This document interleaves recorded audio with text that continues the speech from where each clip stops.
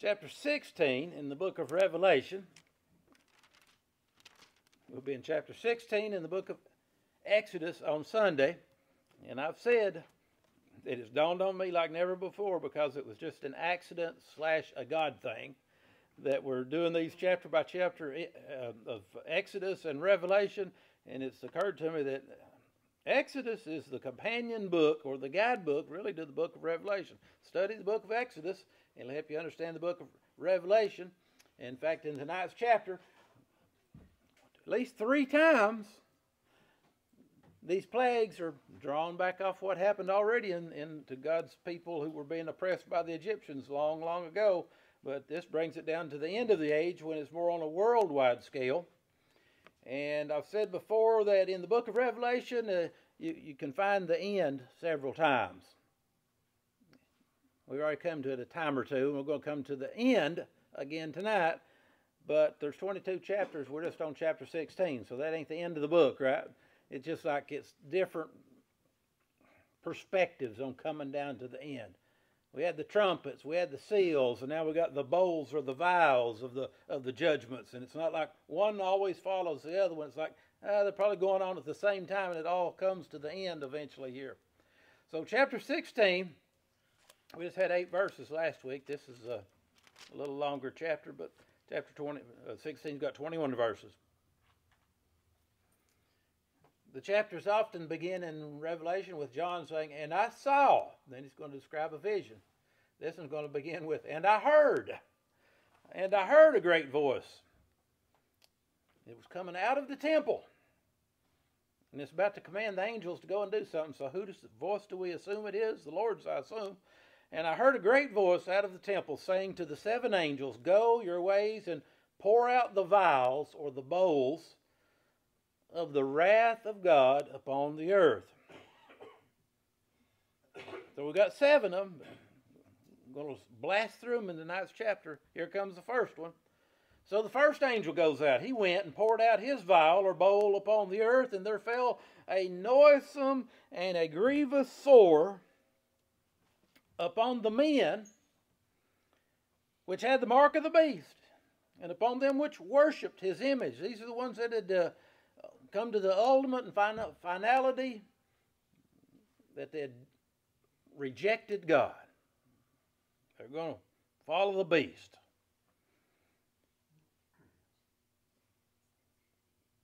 Now, here's the first thing we are drawn back off of Egypt. One of the plagues of Egypt was boils. Remember that? So here we are at the end and the bowls poured out, the vials poured out of the wrath of God, and, and there's a noisome and grievous sore upon the men. Usually in the Bible, when you read the men, it means what? Humans, male and female. I don't know, maybe it means men here. I, I, I don't know, but all I'm doing is I'm watching the news. You ever do that? Watch the news and makes you think about your Bible? And I, uh, this is from two days ago. We're probably up around 2,000. Now they're making a big deal. Well, the sharks have kind of eclipsed the monkeypox right now. they will scare you to death with the sharks. Well, Barb's going to the ocean tomorrow. Darby just came back. Did you see any sharks, Darby? you don't think so? They probably some seen you though. But you saw one catch one, but thank God it wasn't the shark caught a person, right? This person caught a shark. The other thing in the news right now is the monkeypox. You know, they was riding that one pretty hard for a while, and then the shark attacks came. But uh, they've scared everybody, but they're afraid to say the truth. They're afraid to tell you that you just get a little bit of it, and, and, and every once in a while they'll read what the CD said because they're afraid to say this on TV. Because in this cancel culture thing, you know, it's like, oh, that ain't politically correct, even if it's the truth. But you get a little bit, you know, they're afraid to say it, and you know, this may not make it on Facebook either. But I'm going to tell you the truth. I mean, two days ago, America was up to like 1,800 cases. And I knew the first part, but I didn't know this part. Guess how many of them were women? Zero! because this is a plague upon the homosexual community. This stuff is coming out of the bathhouses. And the CDC says if you're a homosexual man and you're it's it's the L you know the LGBTQ LGBTQ question mark. and it's three of the letters. Let me see if I can get it right. It's the it's the gay men, it's the transgendered men, LGBT, bisexual men. So it's the BT and the G. It's all limited in the BT and the G. And the CDC says, there's a public service announcement. The CDC says if you're a homosexual man and you've had multiple partners in the last couple of weeks, you better go get vaccinated, get checked out for the monkeypox. And I'm saying, I'm reading the book of Revelation, I said, you know what? That may be the first vial being poured out. I, I don't know, but I'm going to tell you the truth. I mean, I'm going to tell you that uh,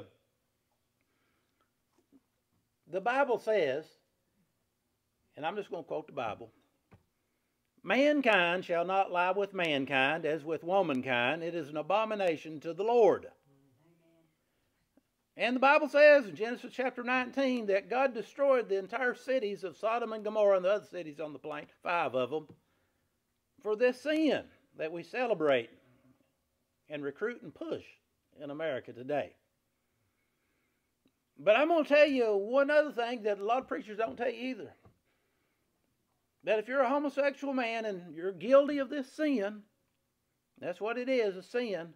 I'm going to tell you the truth that God still loves you in spite of that, just the same as He loves me in spite of my sins but you have to repent. That means turn from your sins and follow God. You can't, can't have it both ways.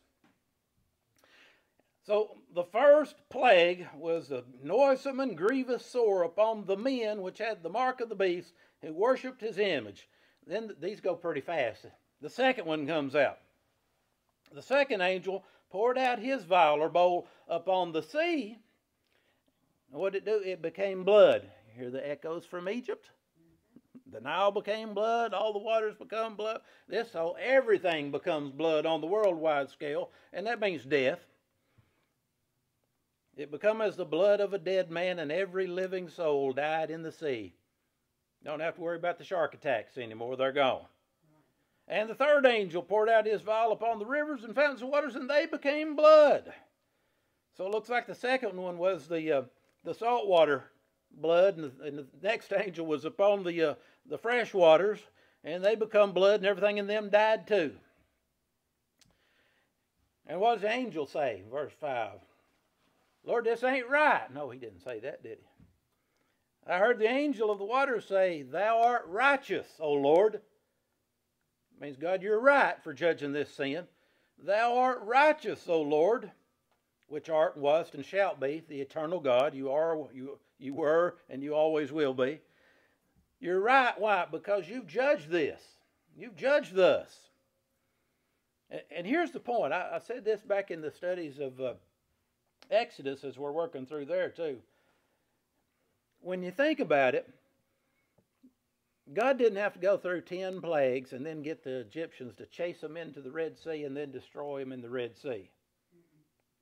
If he'd wanted to, he could have done like Sodom and Gomorrah and just uh, rained down fire and brimstone, got rid of them right off the bat, and God's people could have went free without any of this. So God has some purpose in that. One thing is, he was showing how wicked these people really were. Their hearts got harder and harder.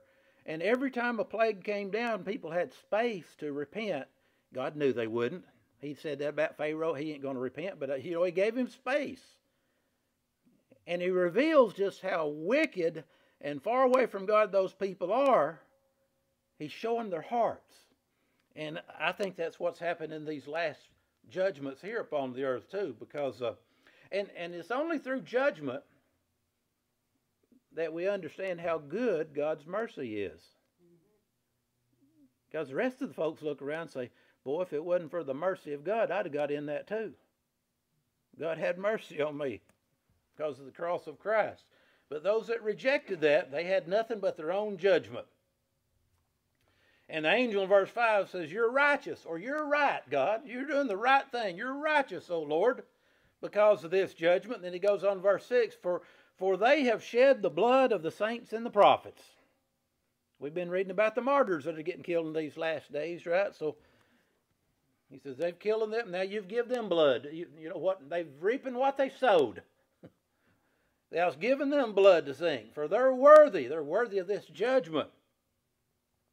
Do you realize how many saints and prophets we've killed in America in recent years? We do it in that subtle way.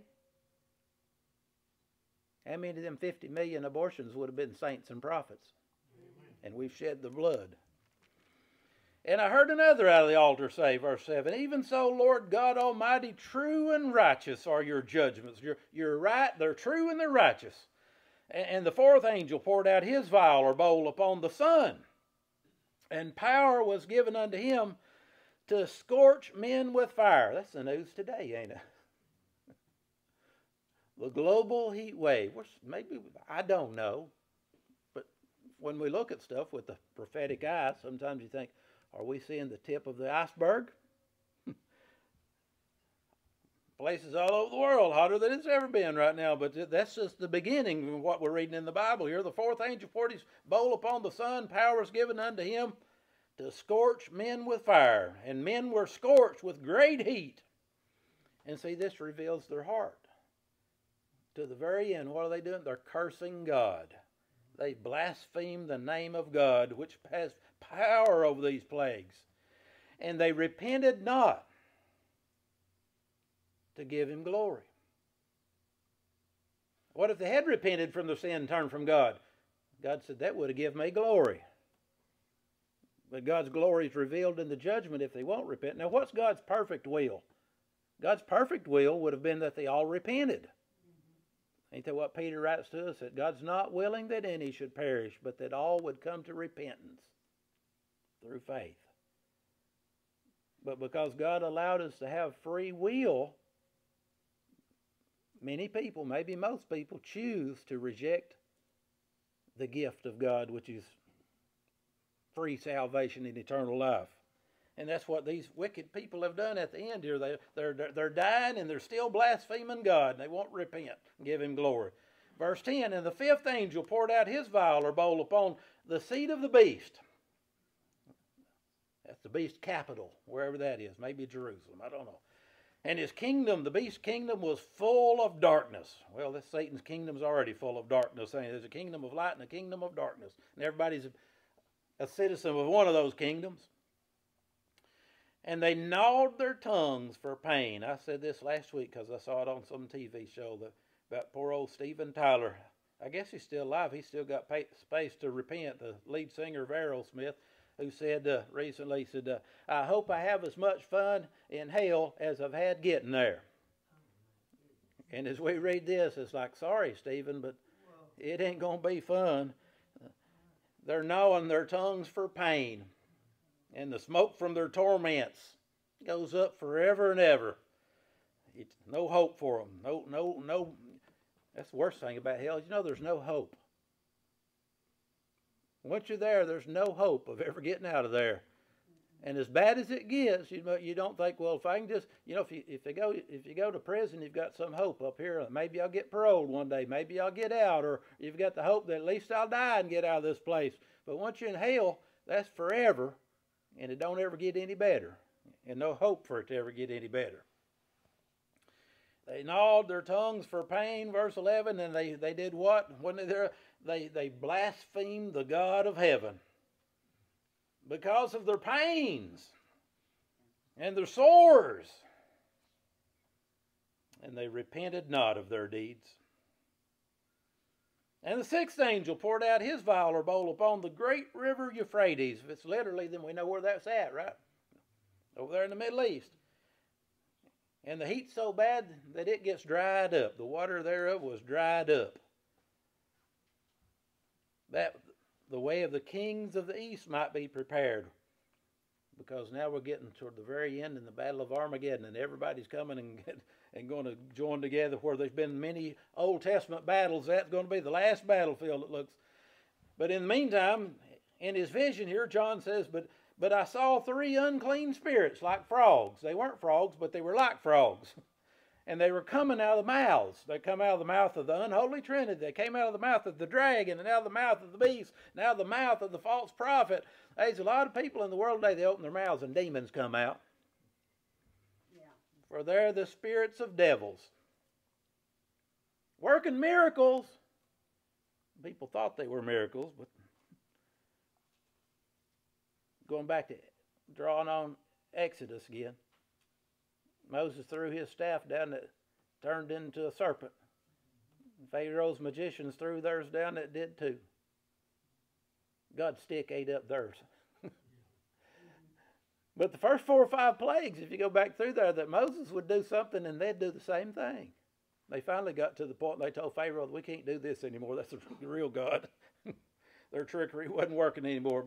But, this deception, it looked like these people were this unholy trinity. They were doing miracles. They had a large segment of the population behind them. Probably, and, and they were not probably, they definitely were worshiping them.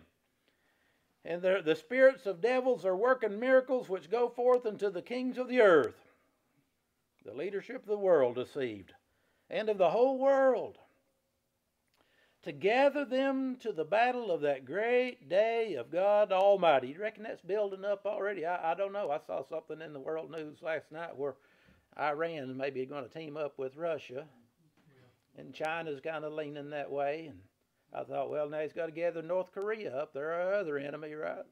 This, the whole world's going to focus over in that area again. That great day of God Almighty is coming. The, the, he's going to tell us about it in a minute. The Battle of Armageddon. And here mine's in red again. It comes from a quote from Quiet Christ. Behold, I come as a thief. Mm-hmm. A thief breaks into your house when you're not expecting it. And it's definitely an unexpected surprise for those that don't know the Lord. Amen.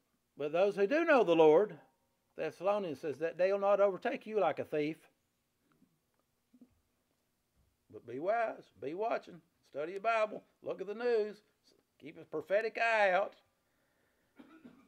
But he'll come as a thief, but then he warns us. This is a warning. See, blessed is he that watches, keep awake and beware and keeps his garments lest he walk naked and they see his, sh- his shame. And that's a spiritual way of saying uh, the way to stay ready is to stay faithful. If you get away from God and you get walking out there in shame again, then you ain't going to be ready. And he gathered them together to a place called in the Hebrew tongue Armageddon, or literally Mount Megiddo, where a lot of these Old Testament Bibles or battles took place. I remember oh Saddam Hussein back in the 90s said as the mother of all wars.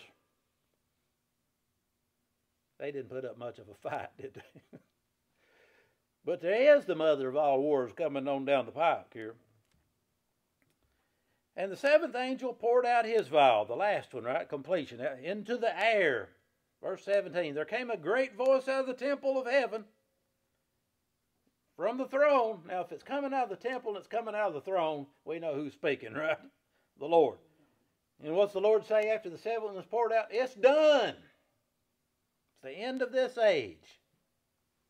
What did the Lord say the last thing when he's on the cross? It is finished. Salvation is available. There's nothing else to do. He's done everything he can. The price is paid. He left it up to people to choose where they want to spend eternity now. But there's a day coming that the end of this age is coming. After that, we'll go into the millennial age, see, but it's done. 18, and there were voices and th- this is kept showing us the very end now. There were voices and thunders and lightnings, and there was a great earthquake such as was not since men were upon the earth. Nobody's ever seen an earthquake like this. So mighty an earthquake. Never been nothing like this. So great. And the great city was divided into three parts. Uh, maybe that's Jerusalem. I don't know. Maybe it's Babylon. But and the cities of the nation fell. They're all falling apart. And, and great Babylon, which was the oppressor of God's people in the Old Testament, spiritual Babylon still going on. See and great Babylon came in remembrance before God to give unto her the cup of wine of the fierceness of his wrath. And the earthquake was so bad that every island fled away. I guess the tsunamis took care of them. In this part of the country, we like to look east and see our mountains. The mountains were not found. That's some earthquake, isn't it? And the very last thing with this bowl, there fell upon men a great hail out of heaven. Now, there was also one of the plagues of Egypt. The plague of hail came down upon the Egyptians, but not on God's people. There fell a, upon men great hail out of heaven, every stone about the weight of a talent. That's a hundred pound hailstone. You imagine that thing hitting a car? You driving down the road? A hundred pounds dropped out of the clouds up there somewhere. And they're called hailstones. And the last thing here is happening is God's stoning them. They're all going to be stoned, but not in a good way, right? Every stone was about a hundred pounds, and men, what did they do? Very, I mean, the very last minute. I, I'm, I'm assuming God's grace is still available, but they've gone like Pharaoh. Their hearts just got harder and harder, and the last thing they're doing, they're still blaspheming God as they go out into eternity. Men blaspheme God because of the plague of hail, for the plague thereof was exceeding great. Lord, as we've studied this chapter here tonight, we thank you for it, Lord, as a, a warning, as we've read about your future judgments. May it be mindful to us Christians about your wonderful grace, or we'd be in the same boat. And Lord, we pray that uh, some of these folks that are in this boat right now would shift sides and get on the winning side. It's in Christ's name we pray. Amen.